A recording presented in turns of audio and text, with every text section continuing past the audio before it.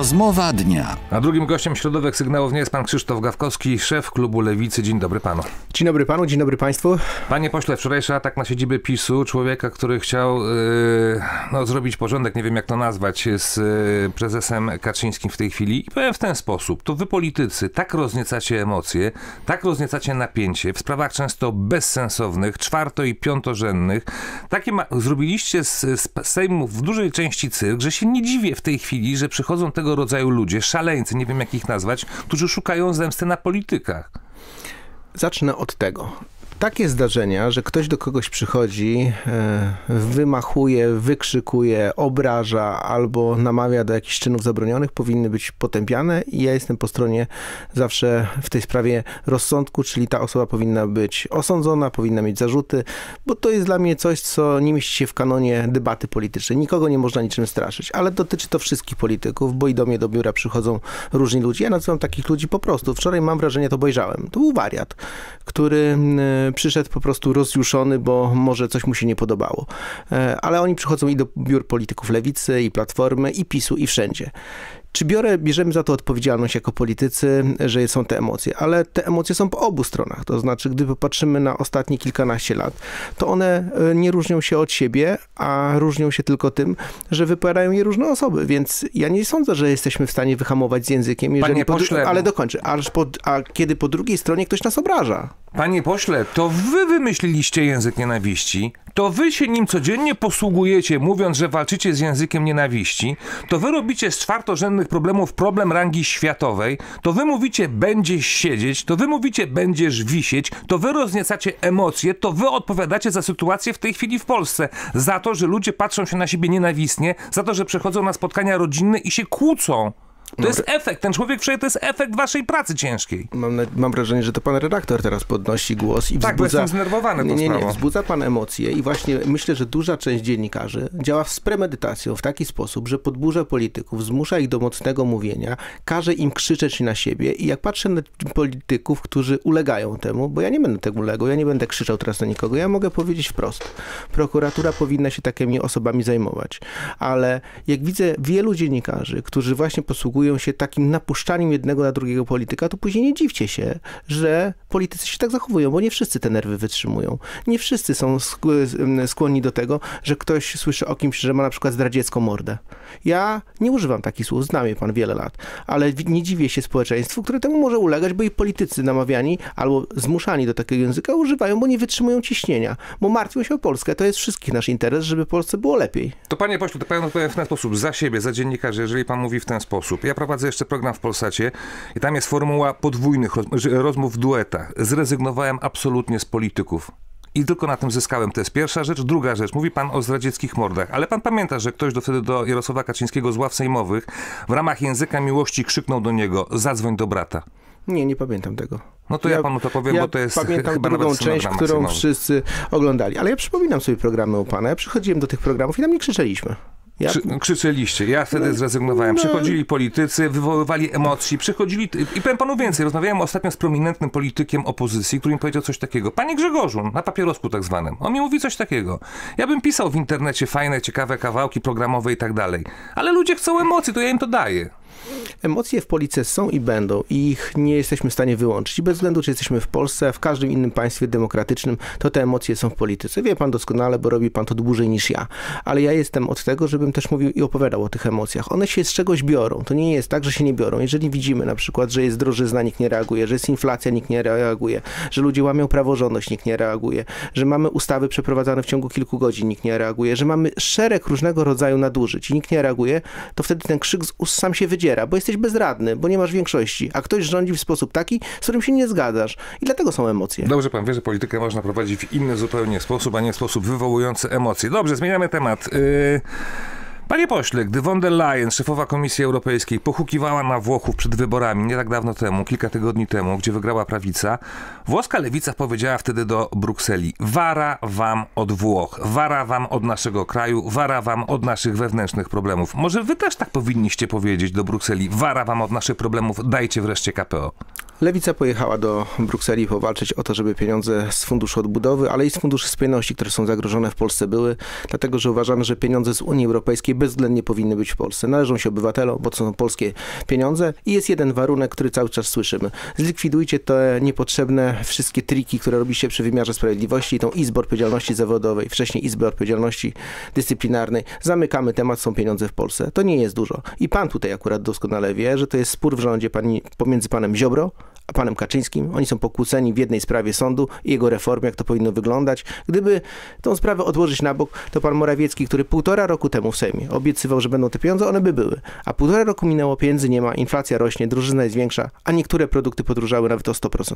Panie pośle, yy, mam przywilej bycia publicystą formułowania własnych tez. Żyję na tym świecie 53 lata. Yy, trochę znam Niemcy, trochę znam Unię Europejską, trochę znam Zachód i powiem panu szczerze w ten sposób. Tu nie chodzi o żadną praworządność. Tu chodzi o to, kto ma w Polsce rządzić. Dobrze pan o tym wie. Nie, no ja, ja akurat... Izba wszyscy- dyscyplinarna została zdyscyplinow- yy, zlikwidowana i co i nic. To ja, ja muszę na to odpowiedzieć dokładnie jak jest. To jest nieprawda, że zostało coś zlikwidowane. Zmieniliśmy nazwę. Jeżeli pan jest w szkole podstawowej numer jeden i dzieciaka prowadzi do jedynki, a później ktoś zmieni nazwę na szkołę numer dwa do tego samego budynku, z tymi samymi nauczycielami, z tą samą kadrą, z tym samym programem, to chodzi do dwójki, bo się nazywa dwójka, bo ktoś zmienił nazwę, ale to jest ta sama szkoła. Więc nie opowiadajmy takich banialuk ludziom i tym, którzy nas słuchają, że coś zlikwidowano. Prezes Kaczyński wie to doskonale, ma wielkie doświadczenie. Wystarczyło zlikwidować Izbę Dyscyplinarną, bo to nikomu nie jest potrzebne i pieniądze by były. Panie pośle, chce tych pieniędzy, kłócimy się o przywileje dwóch, trzech, czterech, sześciu, dziesięciu, kilkunastu sędziów tak naprawdę w tej A chwili to w my się Polsce. przypłucimy. Pan Kaczyński ma wszystkie argumenty, żeby to Pójdźcie do. Brukseli i powiedzcie, słuchajcie, zostawmy ten spór z boku, bo to nie jest spór najważniejszy. Przyjęliśmy uchodźców, jest wojna, dajcie to KPO. Tak, i to jest stanowisko lewicy. Pojechaliśmy do Brukseli dokładnie to powiedzieć.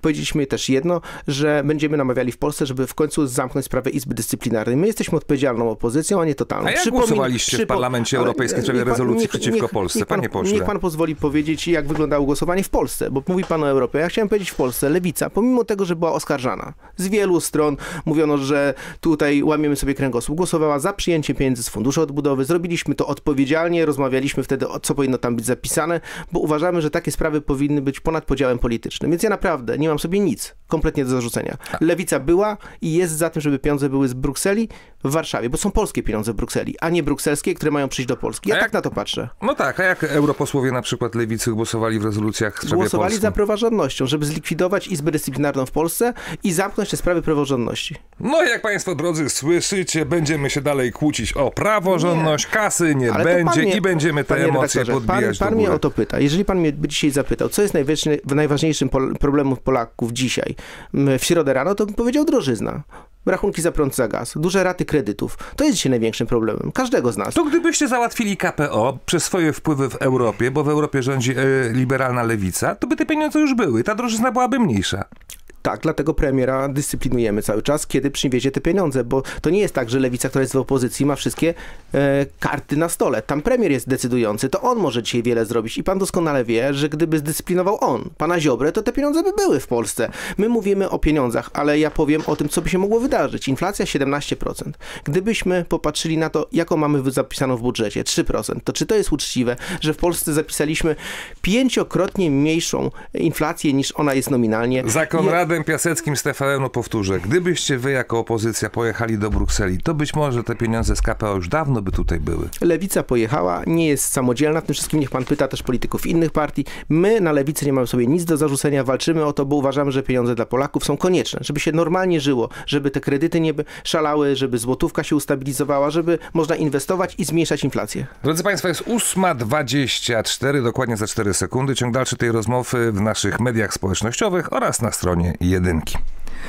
Panie pośle, zmieniamy temat. Yy, sprawa Falenty, sprawa taśm. Komu mam wierzyć? Czy mam wierzyć Marcinowi W., kiedy mówi, że Falenta sprzedał te taśmy ruskim? Czy mam wierzyć Marcinowi W., kiedy yy, mówi, że wręczył 600 tysięcy euro łapówki synowi Donalda Tuska? Czy mam mu wierzyć wtedy, kiedy mówi, że wręczał, że robił przelewy na konto fundacji, w której zasiadała żona Grzegorza Napieralskiego? O co tutaj chodzi? Ja w ogóle mu nie wierzę, dlatego że nie wierzę, że w tej sprawie mamy wyjaśnione, kto był inspiratorem całej tej afery. Ja nie jestem w stanie uwierzyć w inną rzecz. W to, że dwójka kelnerów jest w Polsce w stanie podsłuchiwać polityków objętych parasolem służb, bo przecież przychodzili na to spotkanie też funkcjonariusze służb specjalnych z, z te pomieszczenia sprawdzający. I dwójka kelnerów wykiwała kilkunastu funkcjonariuszy e, państwa do tego doprowadziła, że służby nic nie wiedziały. Ja uważam, że tam są obce ręce i uważam, że mm, duże jest prawdopodobieństwo, że są ręce rosyjskie, bo im było na rękę zdestabilizować sytuację w Polsce. Nie twierdzę i nigdy nie twierdziłem, że ktoś e, komuś pomaga wygrywać wybory. Po prostu byli politycy, którzy zostali wystawieni i ktoś wykorzystał to w sposób taki, jak wykorzystał, bo polityka jest też emocjonalna o czym rozmawialiśmy. Co dla mnie oznacza to wszystko, co powiedziałem? Trzeba niezależnej komisji śledczej, żeby to wyjaśniła. Nie wierzę w to, że prokuratura jest w stanie to wyjaśnić, bo dwa lata rządów Platformy nie wyjaśniła, siedem lat rządów PiSu nie wyjaśniła. Jak nie będzie tam otwartej przestrzeni, żeby pokazywać kawa na ławę, to co jest w dokumentach, podsłuchach, jak wyglądały działania operacyjne Agencji Wywiadu, Agencji Bezpieczeństwa Wewnętrznego, to się nic nie dowiemy, bo jeszcze w coś nie wierzę. Ja nie wierzę, że znaleziono pendrive'y w Wiśle, które wyjęła jedna z polskich służb. Y, pendrive'y nagle się zniszczyły, a później co trzy miesiące, czasami co pół roku, co rok w jednym z mediów się pojawiają te nagrania. Znaczy, normalny obywatel się z tego śmieje i uważam, że bez komisji śledczej tego nie wyjaśnimy. Panie pośle, dobrze, to w takim razie trzeba wyjaśnić taśmy po zarzutach pana W, jeżeli chodzi o taśmy i przekazanie ich obcym służbom. A czy w takim razie inny poważny zarzut ze strony pana W, 600 tysięcy łapówki dla syna Donalda Tuska, też trzeba wyjaśnić? Ja jestem przekonany co do tego, że Tu gdy... pan poseł się uśmiecha, drodzy państwo? Tak, uśmiecham się, bo gdyby było coś na rzeczy, to jestem przekonany, że pan Ziobro sprawdził tą sprawę już 10 razy. Już... To przy taśmach jest coś na rzeczy, a przy łapówkach nie, nie, nie ja ma nic na nie, rzeczy. No, ale to są taśmy. Tak naprawdę tutaj cała ta sprawa jest taśmowa. Ja mówię o tym, jak wygląda charakterystyka tej sprawy. A przy łapówce mówię otwarcie. Jeżeli by było coś na rzeczy, to ja nie wierzę, że pan Ziobro i jego prokuratura, bo jest przecież prokuratorem generalnym, by tego już nie sprawdziła. Ale zaraz, zaraz. Nie byłoby w mówi, sprzedaliśmy taśmy ruskim. Trzeba sprawdzić. A to w też jest... mówi, daliśmy łapówkę synowi Tuska, nie trzeba sprawdzać. Nie, nie, nie, nie. Podkreślam, trzeba sprawdzić. To znaczy, jestem przekonany, że tarby trzeba sprawdzać, ale jestem przekonany, że jeżeli pan Ziobro odtajni też materiały, czy był pan Tusk młody sprawdzany, albo mm, ojciec, premier, to jestem przekonany, że był wielokrotnie, no bo nie wierzę, że e, Zbigniew Ziobro nie wykorzystał tego faktu, żeby sprawdzić, czy coś jest na rzeczy. No wykorzystał, przecież by go przesłuchali, przecież by go wezwali przez dwa lata. No panie redaktorze, przecież wiadomo, że prokuratura już by działała. Nie działa, to znaczy sprawdzili, nic nie ma na rzeczy. Pana dawny towarzysz partyjny, można powiedzieć lewicowy, y, Grzegorz Napieralski, y, startował kiedyś na prezydenta RP, z ładnym wynikiem zresztą. No dziennikarze Super Expressu potwierdzili, że te przelewy poszły na tę fundację. Więc też powinien wziąć to za odpowiedzialność powiedzieć, jak było. Ja nie wiem, kto komu wpłacał przelewy i dlaczego były środki finansowe. Też nie widzę nic nadzwyczajnego w tym, żeby ktoś komuś wpłacił na fundację albo stowarzyszenie, bo to są nie pieniądze dla osoby prywatnej, tylko zazwyczaj dla dzieci, dla jakiejś pomocy, dla jakiejś współpracy, dla budowania jakiegoś, nie wiem, kapitału społecznego. Tak zazwyczaj jest w fundacjach, stowarzyszeniach. Składają swoje sprawozdania finansowe, są te sprawozdania w KRS-ie, wszystko można zobaczyć, wszystko jest przejrzyste. Nie czuję, że tutaj jest problem, ale Warto, A, warto ale tylko dokończę. Warto zaprosić pana Napieralskiego i zapytać go, jak było. W powiedział coś takiego, że e, zażądał od Napieralskiego uciszenia pewnej posłanki, inicjału B, żeby nie przeszkadzała mu w interesach nigdy nie spotkałem się, żeby Grzegorz Napieralski do mnie albo do jakiegoś innego posła, żebym ja to wiedział, występował z czymś, żeby kogoś ucieszać, uciszać. To mogę zaświadczyć, że nigdy takiej sytuacji nie było i ja przynajmniej nie znam. A czy Państwo jesteście za tym, żeby te igrzyska w Sejmie się odbywały, czyli Komisja Śledcza? Piszcie do mnie. Drodzy Państwo, jest godzina 8.29. To był kwadrans z panem mm, Krzysztofem Gawkowskim, szefem klubu Lewicy. Dziękuję. Dziękuję pięknie.